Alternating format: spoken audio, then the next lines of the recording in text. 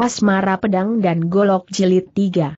Dalam pandangan Hoyan Tiang So dia sedang berdiri di atas lapangan liar, seratus lebih jemaat di sekeliling yang sedang mendengarkan khotbah seperti tidak ada, dalam matanya hanya ada seorang Huasyo tua itu. Huasyo tua itu tetap masih bersikap serius, tapi sorot metu dan suaranya sangat lembut, dia berkata, kurasa aku sudah tahu siapa dirimu belum tentu, tapi aku tahu kau adalah Ji Hang Lo Huasio, kata Hoyan Tiang Sou. Senyum Huasio tua itu selain penuh kasih juga terasa sangat akrab, dia berkata lagi. Ku kenalkan satu orang padamu, mau tidak terima kasih, tapi sekarang ini aku tidak mau menemui siapa pun, apalagi dia. Setelah berkata Hoyan Tiang Sou sendiri merasa terkejut, kenapa dia bisa menolak begitu cepat dan tegas. Siapa dia? Hoyan Tiang So tidak bisa menjelaskan, dan Ji Hang Huasyo pun tidak mengatakan. Huasyo besar dan Tosu yang sudah tinggi ajarannya, dari aliran Buddha dan Tu, tingkah lakunya sering muncul yang aneh-aneh dan sulit diduga.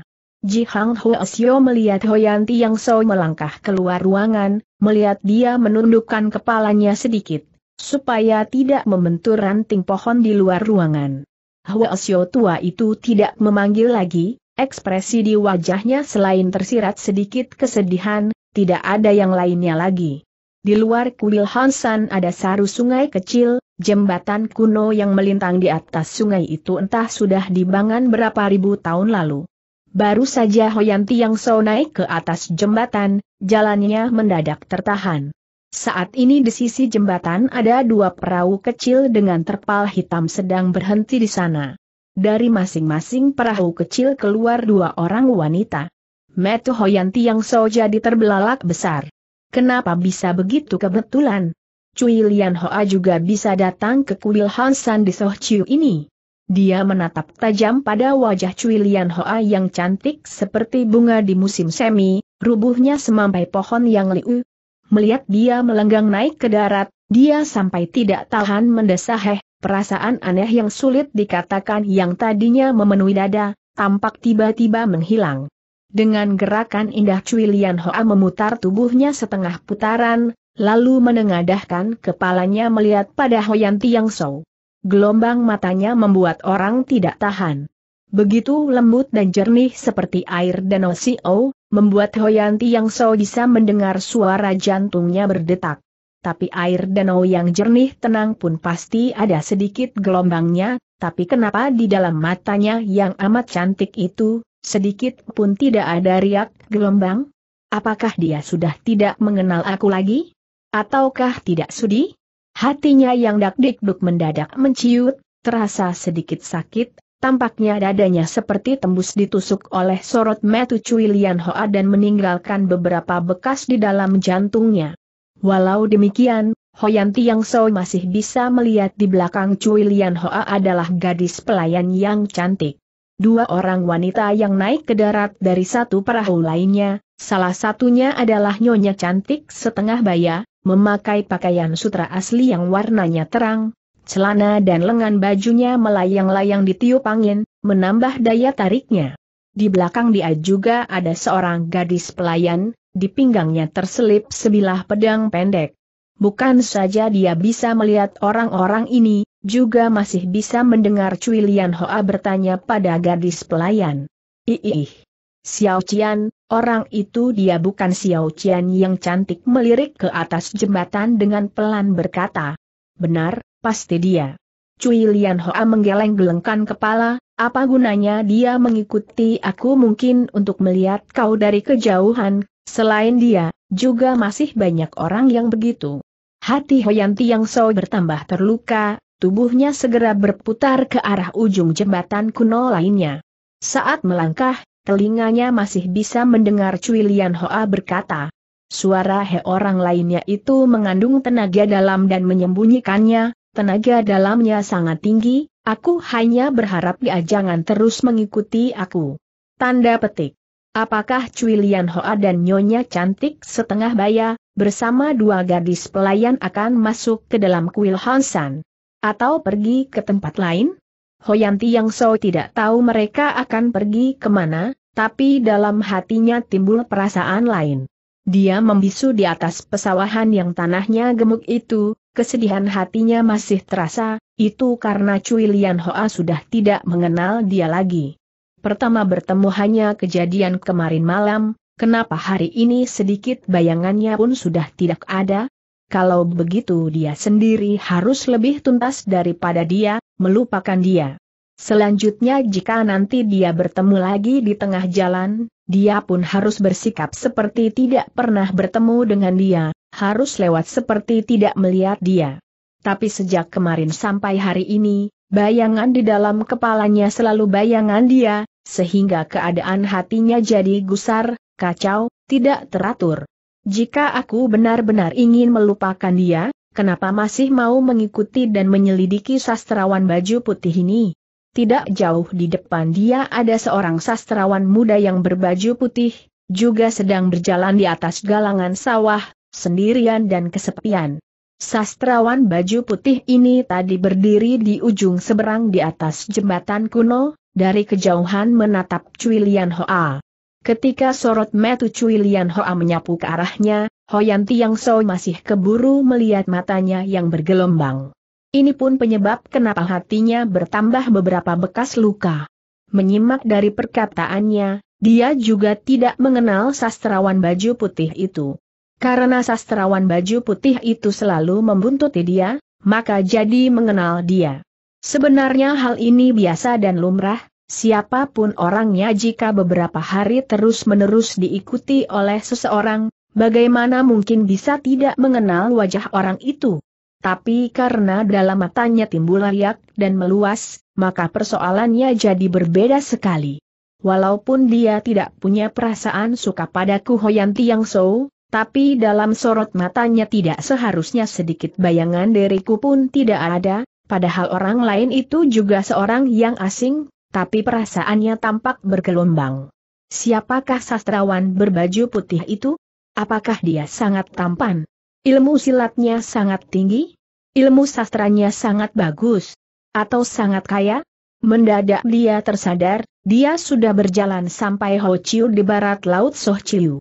Ho Chiu adalah tempat bersejarah yang tersohor, setiap hari libur di musim semi dan musim gugur banyak orang datang melancong, hari biasa pun tidak sedikit pengunjungnya. Sastrawan baju putih itu berdiri di bawah panggung ribuan orang, ada beberapa orang kebetulan berdiri di sisinya, itu juga jadi tidak mengherankannya. Kemudian dia melewati pintu gerbang Pai Yeu Tong Tian, tempat tinggal para dewa menurut aliran Tu, dan berdiri di sisi Kiam Ti, Danau Pedang, beberapa orang masih berada di sisinya, juga tidak menjadi perhatian orang lain. Kiam Ti walaupun amat termasyur, tapi sebenarnya tidak luas, hanya sebuah danau di antara dua tebing batu. Menurut cerita makam rahasia Raja Bu, Hou, dibangun di dasar danau dengan rahasia, benar atau bohong cerita ini sampai sekarang tidak ada orang yang tahu. Walaupun Hoyan Tiang So ingin melihat wajah sastrawan berbaju putih itu, tapi dia tidak berjalan ke tepi Kiam Ti, malah berdiam di atas jembatan batu yang tinggi. Orang-orang di atas jembatan selain bisa melihat Kiam Ti yang berada di bawah, juga bisa melanjutkan perjalanan ke Kuilinian yang berada di tempat yang lebih tinggi, pagoda Hochiu yang terkenal itu berada di dalam kuil itu. Tadinya terhadap sastrawan berbaju putih ini dia hanya ingin tahu dan merasa kesal saja. Tapi sekarang sudah timbul satu perasaan aneh. Hoyanti yang So pernah memikirkan dengan teliti, tapi tetap tidak bisa menjelaskan sebenarnya apa perasaan anehnya kenapa bisa timbul perasaan itu, Untungnya dia tidak perlu berteman dengan orang ini, maka setelah dipikir-pikir, perasaannya lalu dibuang jauh-jauh. Sastrawan berbaju putih itu masih tetap berdiri di tepi danau, Metu Hoyanti yang So tidak perlu terus-menerus mengawasinya. Saat dia melihat ke sekeliling, tampak ada beberapa pelancong dengan langkah tergesa-gesa berjalan keluar. Sekarang masih pagi, kenapa orang-orang mau cepat-cepat pulang? metu dia sangat tajam, semut berjarak satu dua ratus langkah juga bisa dilihatnya. maka dia bisa melihat ada dua orang laki-laki yang berperawakan tegap membuka baju depannya memperlihatkan senjata tajam yang berkilat-kilat pada para pelancong yang barusan tiba, itulah yang membuat para pelancong buru-buru membalikan tubuh berjalan pulang kembali. Orang yang berseragam seperti kedua laki-laki besar itu, jika dihitung dari atas ke bawah dan di sekelilingnya, kira-kira ada 20 lebih. Jika tidak dengan metu kepala sendiri melihat mereka memperlihatkan senjatanya, Hoyan Tiang So masih mengira mereka pun para pelancong.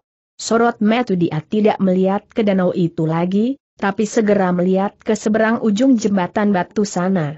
Sastrawan berbaju putih itu dengan santai jalan datang. Entah kapan di pinggangnya sudah terselip sebilah pedang panjang, jika pedang ini barusan diambil dari Kiamti, maka jika bukan iblis dia pasti setan. Mendadak Hoyan Tiang So mengerti kenapa perasaan yang aneh itu tadi terasa. Memang mudah jika dibicarakan, tapi saat dia saling berhadapan, tetap saja wajah lawan masih belum terlihat jelas.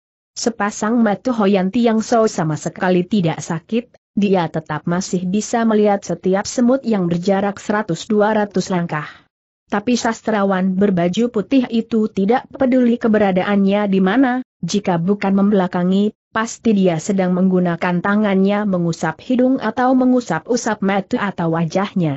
Pokoknya kau hanya bisa melihat sebagian wajahnya saja, tidak bisa melihat wajahnya dengan sepenuhnya, inilah yang membuat perasaan aneh itu. Sastrawan berbaju putih berhenti pada jarak tujuh langkah, saat ini dia berada di atas jembatan, angin gunung meniup bajunya yang seputih salju itu. Perayawakannya yang tinggi tegap, matanya yang hitam pekat, kulit mudanya yang kekar licin, keseluruhan itu cukup membuat orang terpaksa harus memujinya, tampan sekali. Tangan kiri dia tetap masih menutupi bagian mulut dan hidungnya, membuat Hoyanti yang So masih harus menggunakan daya pikir yang tinggi, baru bisa menggambarkan keseluruhan wajahnya.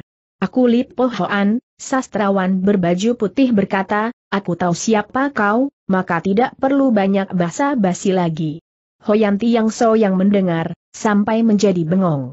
Tapi dia pun merasa mempersoalkan ini sangat tidak perlu, sangat lucu. Saat dia mengangkat alis tebalnya, lalu berkata, aku tidak bisa melihat seluruh wajahmu, ada apa dengan dirimu? Apakah bibirmu sumbing, atau bengkok?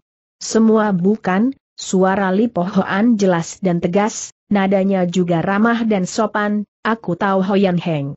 Ingin melihat wajahku, maka aku sengaja menutup sebagian, supaya tidak menghilangkan rasa ingin tahumu, supaya dapat memancing kau datang ke sini dan berbicara denganku.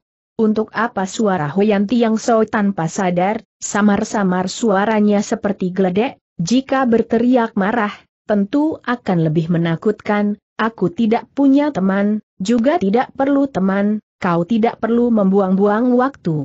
Kalau begitu, kita bicarakan saja hal yang bukan mengenai persahabatan. Hoyanti yang so menggelengkan kepala, sebab dia sudah merasakan moltu di kereknya sedikit meloncat-loncat, ingin keluar dari sarungnya. Kuharap kau jangan mengganggu aku.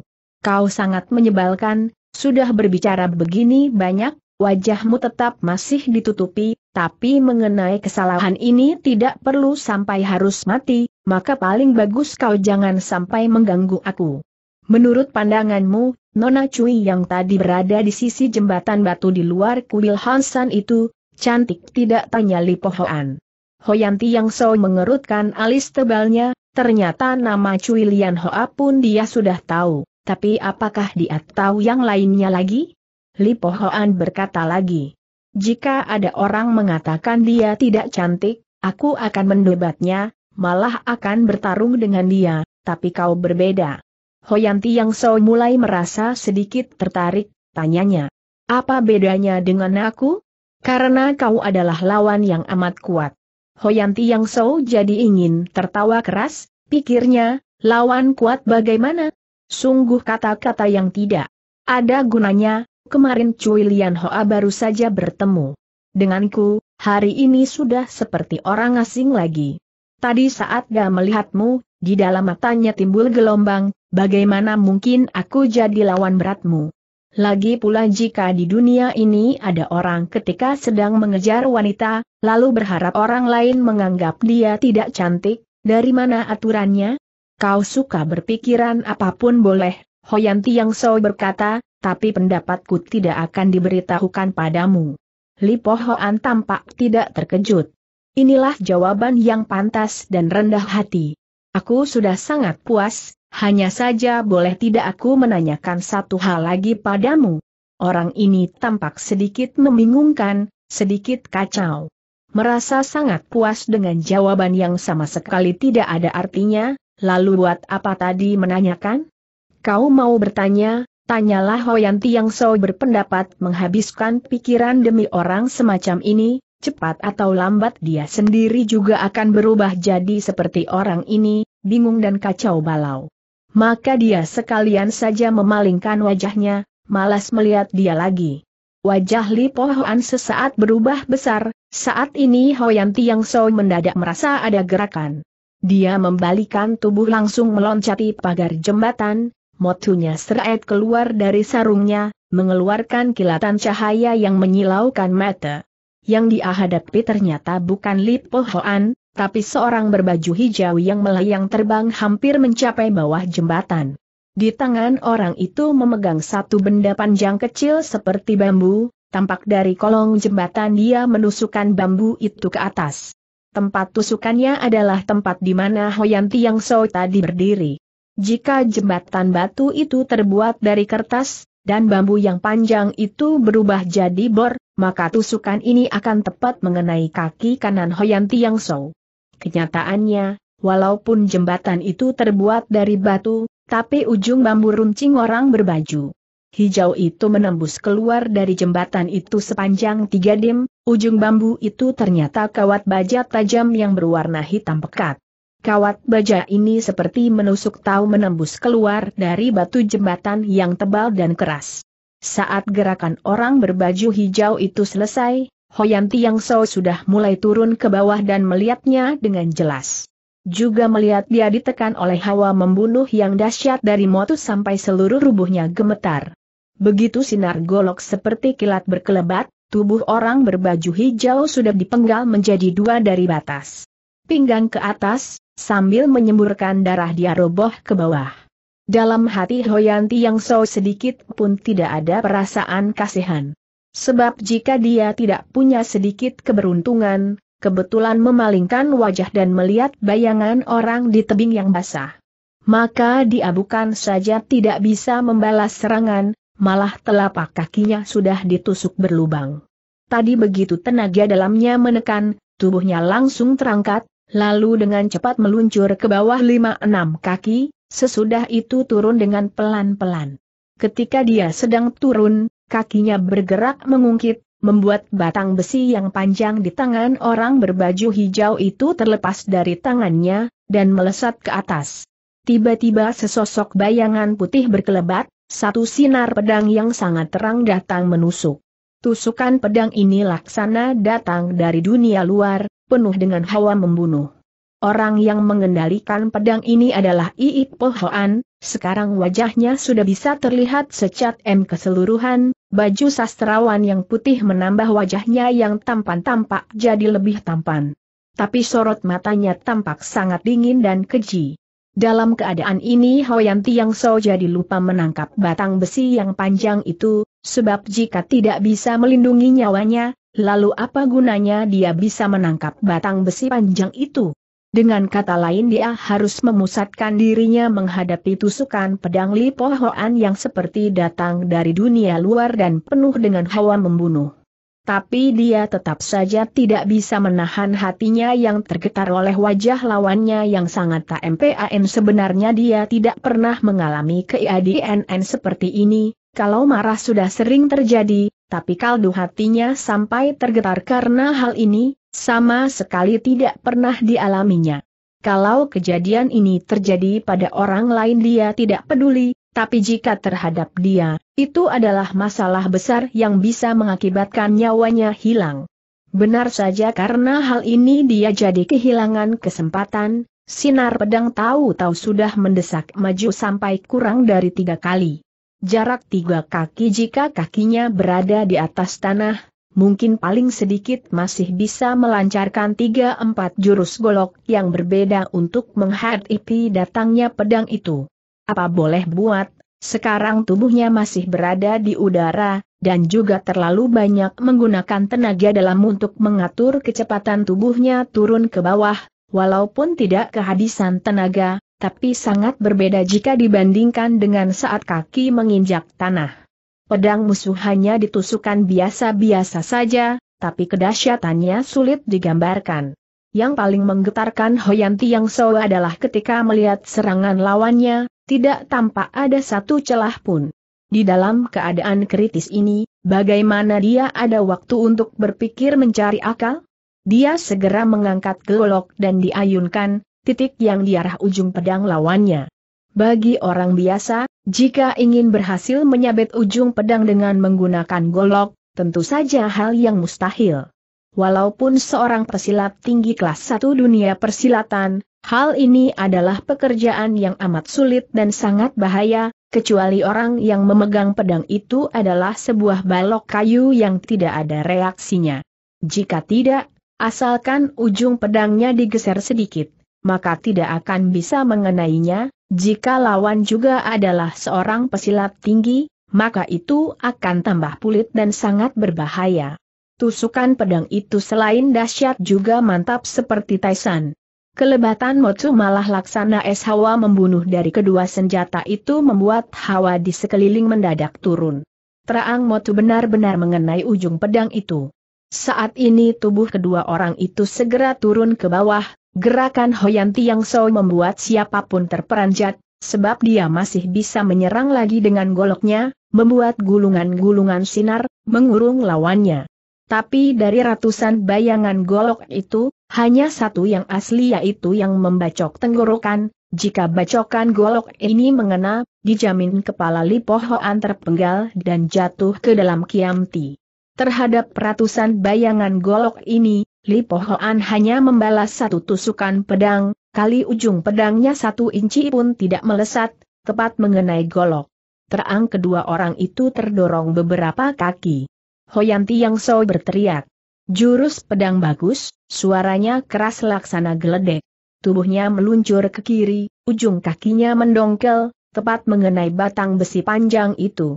Gerakannya membuat batang besi panjang itu tidak terjatuh ke dalam kiamti. Menurut kabar dalamnya kiamti sulit diukur, jika ada benda yang jatuh ke dalamnya, siapa yang bisa mengambilnya kembali? Lipohoan bersalto satu kali, Posisi tubuhnya menjadi tertelungkup, dia menjulurkan tangan tepat memegang batang besi panjang itu. Kedua orang itu tidak bertarung lagi, terbang turun di tepi Kiamti. Li Pohoan mengangkat-angkat batang besi panjang di tangannya, sambil tertawa dingin berkata, Jika kau ingin merebut pedang pusaka ini, tanya dulu pada pedangku yang bukan pedang pusaka ini. Sedikit hawa amarah keluar dari ujung alisnya Hoyanti Yang So dan berkata, Siapa yang mau merebut barangmu? Saat ini amarahnya mendadak hilang, dan berubah menjadi wajah keheranan, katanya lagi. Katamu batang bambu ini pedang? Ku lihat dari sudut mana pun tidak mirip. Li Pohoan mengangkat sepasang bahunya dan berkata, Aneh, aku malah jadi percaya kata-katamu yang dia percayai tentu saja Hoyanti yang So tidak berniat merebut pedang pusaka. Dia berkata lagi, pedang ini adalah benda pusaka dari luar negeri, namanya Tokcho Asim, lidah ular beracun. Dalam keadaan biasa hanyalah sebatang tongkat panjang, tapi dalam keadaan mendesak dengan pengerahan tenaga dalam, maka akan mengeluarkan ujung pedang sepanjang tiga dim, sangat tajam dan kecil seperti kawat baja. Kau tadi mungkin sudah melihatnya, batu juga jadi seperti tahu, apalagi tubuh manusia, jangan dikatakan lagi. Hoyanti yang so memang tadi melihat dengan metu kepala sendiri, maka dia membantah. Kenapa kau mengutus orang diam-diam ingin membunuhku? Dengan ilmu silatmu, sangat pantas bertarung secara terang-terangan. Kenapa menggunakan Kerhina diam-diam membunuh orang? Li Pohoan balik bertanya. Tadi kau jelas sudah berada dalam bahaya, jelas sulit bisa lolos dari serangan pedangku, kenapa mendadak kekuatan golokmu bisa menjadi sangat dahsyat, membuat aku tidak sempat merubah arah pedang, sehingga golokmu bisa mengenai ujung pedangku apa sebabnya? Dalam hati Hoyanti yang so timbul dua wajah lain yang ketampanannya seperti Li Pohoan. Dua orang ini berbeda aliran, yang satu aliran lurus yang disebut Kiam Liu, pedang marga Liu, dan pemiliknya adalah Tuan Muda Liu Xianghen, salah satu keluarga dari dua keluarga besar dunia persilatan Chan Hang Hoa Goat Yang Chiu. Ketampanan dia, zaman sekarang boleh dikatakan tidak satu orang pun yang bisa menandinginya. Satu wajah lagi yang beraliran sesat adalah Toh Cheng Tai, julukannya Jin Bin So Sim, manusia berhati binatang. Orang ini punya kelainan jiwa, sialnya dia memiliki kepandaian sangat tinggi dan menguasai ilmu hebat dari berbagai perguruan silat, penuh dengan akal busuk. Siapa pun yang bertemu dengan dia, termasuk beberapa gurunya, terpaksa menyalahkan dirinya sendiri, mungkin dalam kehidupan sebelumnya kurang berbuat amal hingga dosanya banyak. Toh Cheng Tai juga sangat tampan. Dulu Hoyanti yang so hampir saja dibunuh olehnya, jadi harinya masih membenci padanya. Maka ketika dalam hati dia muncul dua wajah yang satu aliran lurus dan yang satu lagi sesat, dia merasa Li Pohoan termasuk orang Toh Cheng Tai, saat itu dia jadi naik pitam. Tadi dia hanya untung-untungan mengibaskan goloknya dan tepat mengenai ujung pedangnya. Rahasia ini rasanya tidak perlu dibongkar, maka Hoyanti yang So hanya tersenyum tidak berbuat apa-apa. Jawaban yang diberikan juga bukan yang ditanyakan, berkata, ujung pedangmu pun bisa mengenai golokku, kau memang pantas menjadi lawanku. Kata Li Pohoan. Saat ujung pedangku terkena oleh golokmu, pedangku sudah menjadi tumpul, ketajamannya sudah berkurang ratusan kali dibandingkan sebelumnya. Makanya tusukan pedangku, seperti memakai palu menghantam golok, Orang yang ilmu silatnya lebih rendah dariku, mungkin juga bisa melakukan hal ini. Kau terlalu merendah, jika orang itu ilmu silat dan jurus pedangnya lebih rendah darimu, pasti tidak akan mampu melakukannya. Tentang masalah ini, aku tidak akan berdebat denganmu, Li Pohoan berkata lagi, hal lain yang ingin aku katakan adalah masalah permusuhan, kau tahu tidak, jika kita berdua bermusuhan, Akibatnya adalah jika bukan kau yang mati, maka aku yang meninggal, pasti tidak ada jalan ketiga. Mengenai masalah kita jadi musuh atau tidak kuncinya ada di tanganmu bukan padaku, kata Hoyanti Yang So. Li Pohoan sambil melirik, berkata lagi, benarkah? Coba kau pikir-pikir lagi, apakah benar atau tidak Hoyanti Yang So berpikir keras. Kata-kata ini betul saja tidak benar. Sebab jika Li Pohoan tidak bisa melepaskan Cui Lian Hoa, dia tidak henti-hentinya mengejar, dan dia sendiri tidak bisa melupakan Cui Lian Hoa, maka dia menjadi musuh cintanya. Orang biasa bertemu dengan musuh cinta, setelah melakukan pertarungan akan mendapatkan cinta, yang menang tidak perlu dikatakan, tapi yang kalah biasanya juga hanya bisa mengeluh lalu pergi jauh. Tapi jika terjadi pada orang yang berilmu silat tinggi, maka persoalannya menjadi ruwet. Buat orang biasa sangat sulit dengan emosinya membunuh orang menggunakan senjata, tapi bagi pesilat tinggi dunia persilatan bisa melakukannya, tidak saja bisa, malah sangat mudah sekali. Inilah besarnya perbedaan. Misalkan Li Pohoan kalah dalam persaingan cinta, dengan mudahnya dia akan mencari Hoyanti Yang So dan bertarung dengannya. Sebaliknya Hoyanti Yang So juga sama. Walau Hoyanti Yang So tahu pasti tidak akan melakukannya, tapi kemungkinannya ada, maka tidak bisa mencegah orang ada pikiran seperti ini. Hoyanti Yang So tertawa pahit, berkata, kalau begitu kau mau apa? Jawaban Li Pohoan cepat sekali, jelas dia sudah memikirkannya kau kembalilah ke utara, maka tidak akan ada masalah lagi. Hoyanti yang so melototkan matanya. Aku bukan orang yang takut pada masalah, kau harus ingat ini.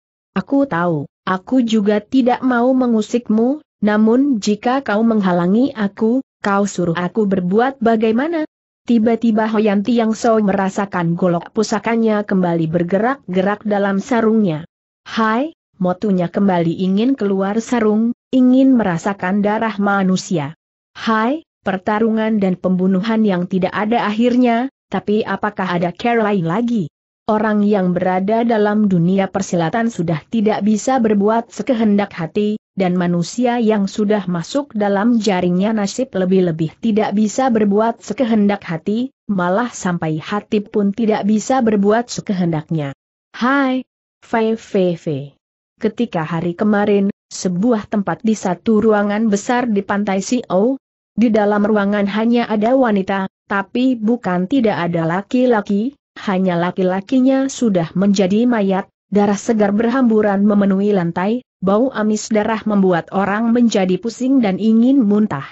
Nyonya setengah baya berbaju hijau dengan dingin berkata, Hoyanti yang so sudah pergi, langkah dia sedikit terburu-buru, seperti yang melarikan diri saja, ada apa sebenarnya? Apakah dia sudah menemukan bahaya? Jika ada bahaya, lalu bahaya apa? Cui Lian Hoa melihat keluar jendela, tapi dia terlalu jauh dari jendela, maka tidak bisa melihat permukaan air danau yang jernih dan gunung yang hijau, tapi dia bisa merasakan cerahnya musim semi dan udaranya. Namun semua ini akan segera menghilang, bukan menghilang seperti datang dan perginya musim semi, tapi dia sendiri yang telah kehilangan kekuatannya merasakan. Setelah manusia mati, segala yang ada di dunia ini terhadap dia sama saja, menghilang. Aku mungkin tahu kenapa dia terburu-buru melarikan diri, tentu saja bukan karena bahaya, orang ini jika ada bahaya yang bisa membuat dia takut, itu baru satu kejadian aneh. Kau tahu jawabannya, wanita berbaju hijau dingin berkata, begitu lihat sorot matamu aku sudah tahu kau. Mengetahuinya, jika kau rela mati demi jawaban ini, itu pun bukan tidak boleh. Cui Lian Hoa sadar yang dia hadapi adalah wanita yang pintar, licik dan keji, dia balik bertanya. Apakah setelah aku menjawab maka aku boleh tidak mati? Belum tentu, aku tidak bisa menjamin hal ini, tadi kenapa kau tidak membunuh kami? Apakah kau benar-benar merasa ragu jika sampai tidak bisa membunuh aku, akan menimbulkan akibat yang sangat berat? Tidak salah, motunya Hoyan Tiang So bukan golok biasa, jika aku bisa tidak bertarung dengan dia, tentu itu yang paling bagus. Akhirnya Cui Lian Hoa mengatakan jawabannya, Hoyan Tiang So mungkin hanya ingin menghindar dariku, maka dia sampai sekarang belum tahu apakah aku benar-benar tidak bisa bersilat. Apakah aku bisa kembali bebas dan lain-lainnya, sudah langsung pergi. Jawaban ini kedengarannya sangat aneh, jarang membuat orang tidak bisa percaya, tapi, tampaknya tidak ada alasan lain yang lebih bagus. MMM, mari kita pergi, lebih cepat lebih bagus, jangan sampai para petugas keamanan datang ke sini, hingga menambah kerepotan. Langkah pertama dia menyuruh pergi dulu empat wanita lainnya yang juga sangat cantik. Lalu menyuruh Cui Lian Hoa berganti pakaian laki-laki, termasuk dia sendiri juga. Sehingga Cui Lian Hoa berubah jadi seorang sastrawan, dan wanita berbaju hijau menjadi seorang pelayannya. Apakah kita pergi ke Feng Lai di Soatang sambil ganti baju Cui Lian Hoa bertanya padanya. Mungkin ya mungkin tidak. Wanita baju hijau tidak mau memberitahukannya dan berkata lagi, selanjutnya dalam perjalanan kau adalah tuan muda Cui, aku adalah pelayan Mulocia. Paling baik kau jangan banyak bicara, jika terpaksa harus bicara, kau harus merubah suaramu menjadi suara laki-laki, pokoknya jangan sampai membuat orang menimbulkan masalah, jika ada masalah, aku akan menusuk dulu tubuhmu 12 tusukan pedang. Walaupun orang yang paling kuat di dunia, jika tubuhnya ditusuk 12 kali oleh pedang, mungkin ingin tidak mati juga tidak bisa. Apalagi Cui Lian Hoa, dia bukanlah orang yang sangat kuat, tentu saja tidak bisa tidak mati. Makanya Cui Lian Hoa bercermin pada kaca memeriksa apakah ada yang salah atau tidak, dia melihat dirinya menyamar menjadi laki-laki, ternyata sangat tampan juga. Jika dalam perjalanan dia punya kesempatan berkenalan dengan wanita, sehingga mereka jatuh cinta padanya, itu pun bukan hal yang aneh. Dengan suara kasar dia bertanya, Locia, kenapa kau melepaskan empat wanita itu, sedangkan aku tidak? MMM, suaramu tampak tidak ada yang salah. Apa gunanya empat wanita itu untukku? Aku kan bukan laki-laki, walaupun laki-laki juga tidak perlu wanita sebanyak itu. Cui Lian Hoa berkata, karena kau bukan laki-laki, maka tidak tahu cara berpikir laki-laki, jarang sekali laki-laki merasa kebanyakan wanita, pada dasarnya bagi mereka berharap lebih banyak wanita lebih bagus. Kata-katamu mungkin tidak salah, pokoknya aku bukan laki-laki, malah sangat benci pada laki-laki, makanya aku tidak menyelidiki cara berpikir mereka. Di wajah Cui Lian Hoa tidak tampak ada reaksi, tapi di dalam hatinya dia sangat terkejut. Wanita ini jika sampai membenci laki-laki, mungkin tidak hanya menyukai wanita. Untungnya dia sudah berkata lagi. Sebenarnya terhadap wanita pun aku membencinya, itulah sebabnya kenapa aku lebih suka membunuh orang daripada menolong orang. Aku hanya berharap di sepanjang jalan nanti aku tidak menemukan alasan untuk membunuhmu. Jika ada, aku pasti tidak akan melepaskanmu. Kau ingat itu. Cui Lian Hoa sangat yakin dia bukan berkata hanya untuk menakut-nakuti.